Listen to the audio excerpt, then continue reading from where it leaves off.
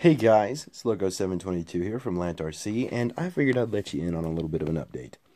So, last time I ran the Emaxx, I ended up losing the little black clip that's on the bottom of the shock and a spring because during that time of running it, I ended up pulling the shaft out of the eyelet on the bottom of the shock so it swung freely and I didn't notice it squatting so much until I got back into the house. I went outside and looked and looked and looked, couldn't even find the spring, let alone the little black clip thing. Uh, so, I had to spend money. So why not spend a bunch of it? 60 bucks on Amazon.com, and I got the Traxxas Big Bore Aluminum Shock Set for the Emaxx Brushed Edition. And so far I've only got three of them installed. I've already pre-filled them. I filled them up with oil, made sure they were all good to go, clean and very nice looking shocks, titanium shabs, and the eyelets and the threads on the bottom of these shocks are much, much better than the stock ones. So, with three down and five to go,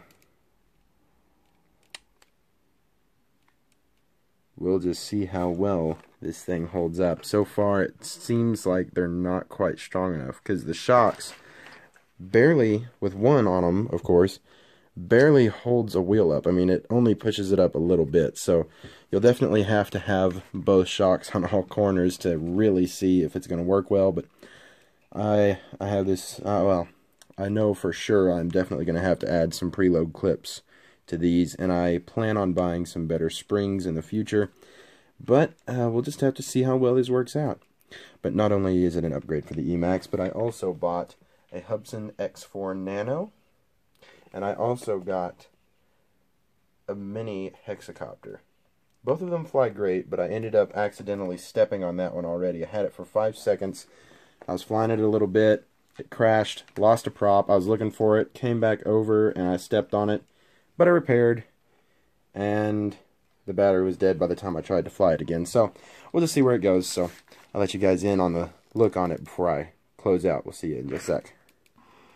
Alright guys, I'm back now. I've completely finished the installation of the shocks. I also added new preload, preload spacers to the front and the same old ones to the back except I've adjusted them because these shocks are in fact much softer than the stock ones over there. So I added a little bit more preload and on the stock ones I actually had less preload on the front than I did on the back. This time around I went ahead and just made them all the same and they all have more preload than they did.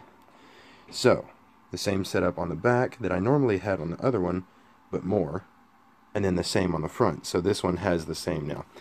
So I've got some batteries on charge and I think I may see if we can't go out there and uh, have a little fun, test it out real quick. So, we'll see you guys in a hot second. So guys, here we are now with the Traxxas Emaxx with the brand new big bore shocks installed.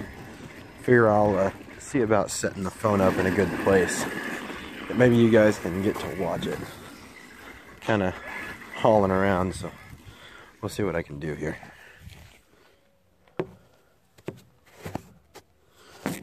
Hopefully you guys will be able to see that pretty good.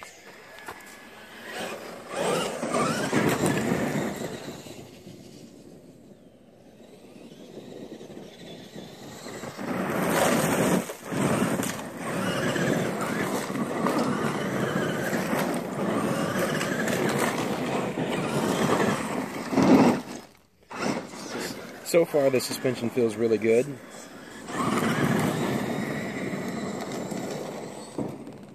Really liking it. Feels really smooth. It's really soaking the bumps up.